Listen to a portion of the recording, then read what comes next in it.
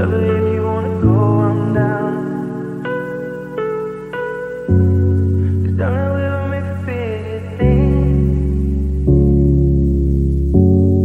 this place keeps killing our dreams.